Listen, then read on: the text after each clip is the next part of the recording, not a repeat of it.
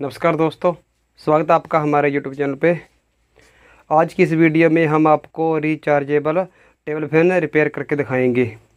दोस्तों, इसमें प्रॉब्लम क्या है कि ये हमारा जब बैकअप मोड में है, तब ये नहीं चलता। कस्टमर का कहना है कि ये काफ़ी टाइम से ये हमारा घर पे रखा हुआ था, जिस वजह से ये हमारा नहीं चल रहा। बिल्कुल डेड है, देखिए, मैं आपको चला कर दिखाता हूँ, देखिए। कोई भी यहाँ पे, देखिए एल नहीं शो कर रही, देखिए।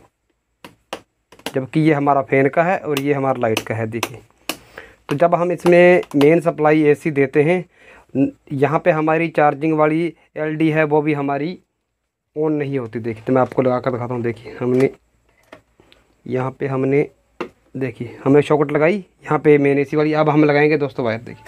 देखिए।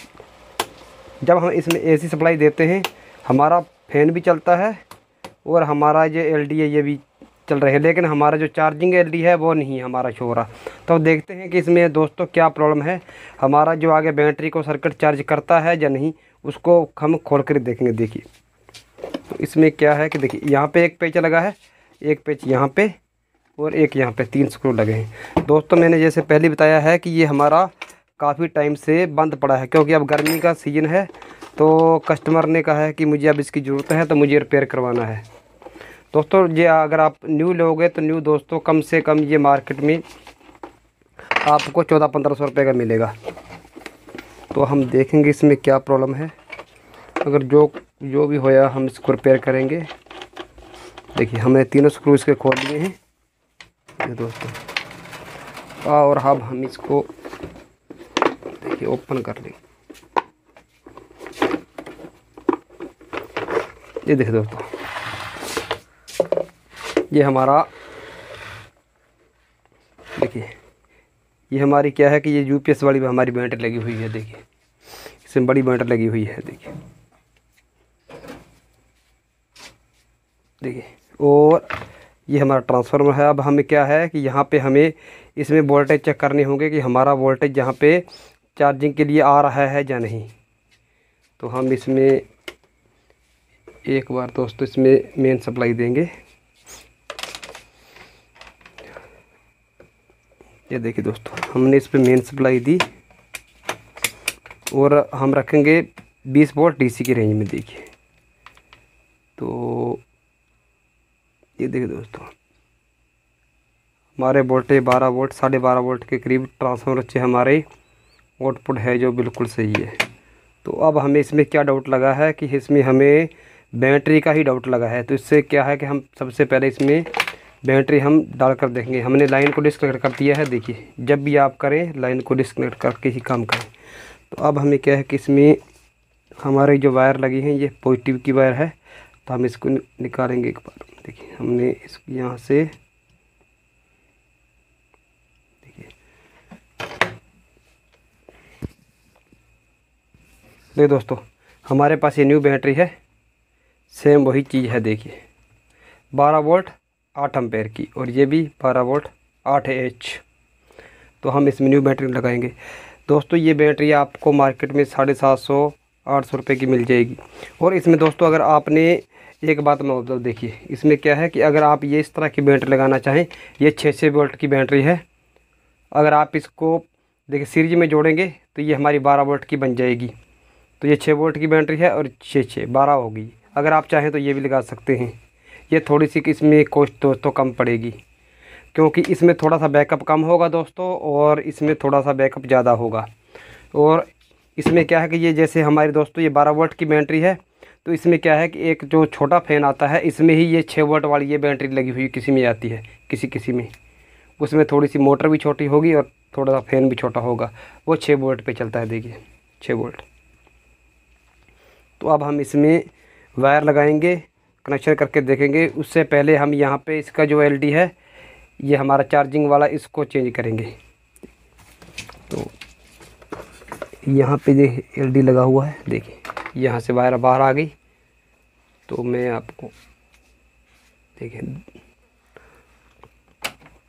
ये हमारे पास न्यू एलडी है, देखिए। हम इसमें न्यू एलडी को चेंज करेंगे।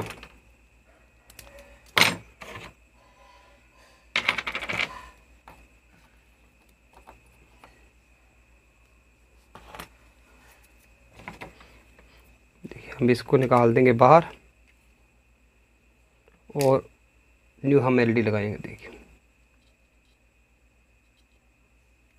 क्योंकि ये हमने लगाना ज़रूरी है, क्योंकि जब हमारा यही, यहाँ से पता लगेगा कि हमारा जो बैटरी है वो चार्ज हो रहा है या नहीं। तो देखिए, हम इसको वायर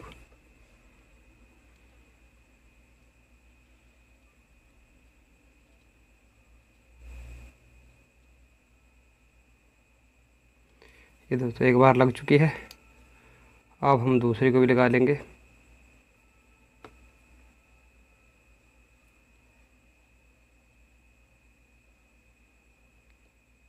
देखिए दोस्तों, हमने दोनों बार लगाई है। अब हम इसमें चार्जिंग देकर चेक करेंगे कि हमारा चार्जिंग आउटपुट यहाँ पे हम आउटपुट चेक करेंगे दोस्तों। हमारा एलडी भी देखेंगे कि हमारा यहाँ पे एलडी ग्लो हुआ है या नहीं देखिए देखो दोस्तों लाइन देंगे हम दोस्तों हमारी यहाँ पे एलडी शो हो गई है चार्जिंग वाली। और अब मैं आपको यहाँ पे आउटपुट जो हमारी बैटरी चार्ज के लिए वोल्टेज चाहिए, वो भी चेक करवाता हूँ, देखिए। ये देखो दोस्तों बारह पॉइंट तीस। वोल्टेज जो हमारे इसको चार्जिंग के लिए चाहिए, वो तो बिल्कुल परफेक्ट हैं।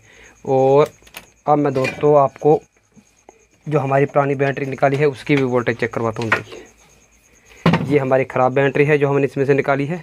देखिए, वही बैटरी है। और ये हमारी न्यू है। मैं उसको वोल्टेज चेक करवाता हूँ, दोनों के देखिए। जो कि बिल्कुल डेड है। दो पॉइंट सिक्स वोल्ट ढाई वोल्ट के करीब है, जो कि हमारी डेड है डेड हो चुकी है। ये काफ़ी टाइम से बंद थी तो इसलिए हमारी डेड हो चुकी है। और अब मैं ये देखिए, हमारे पास न्यू बैटरी है देखिए। वोल्टेज बिल्कुल परफेक्ट है, देखिए आपको। तेरह के लगभग वोल्टेज हैं, क्योंकि ये हमारी न्यू है तो इसमें थोड़े से वोल्टेज ज़्यादा ही होते दोस्तों। और अब हम इसमें क्या है कि हम, हमारी जो वायर है, उसको लगाएँगे, क्योंकि जो हमारा रेड वायर है, वो पॉजिटिव की है, और जो ये पीली वायर है, ये हमारा नेगेटिव की है। नेगेटिव पे नेगेटिव और पॉजिटिव पे पॉजिटिव। देखिए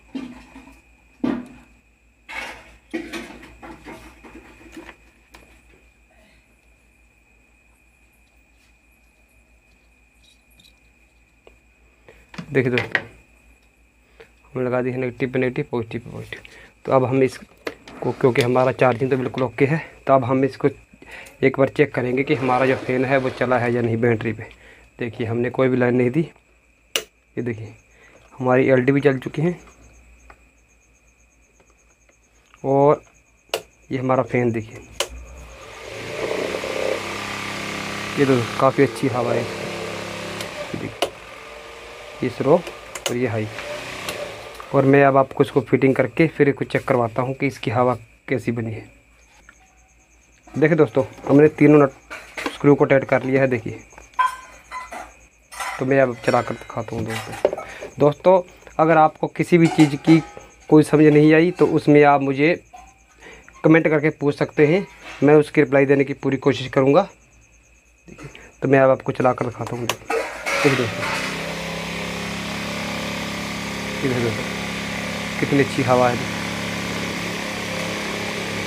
और इसकी हवा काफ़ी अच्छी होती है। जो लोग ज़्यादातर इसको दोस्तों, जो छोटे बच्चे होते हैं, उसके लिए ज़्यादा यूज़ में करते हैं। तो दोस्तों, आशा करता हूँ आपको हमारी वीडियो पसंद आई होगी। अगर आपको हमारी वीडियो पसंद आई हो तो हमारे चैनल को सब्सक्राइब करें और हमारी वीडियो को ज़्यादा से ज़्यादा शेयर करें। मिलते हैं नेक्स्ट वीडियो में। जय हिंद।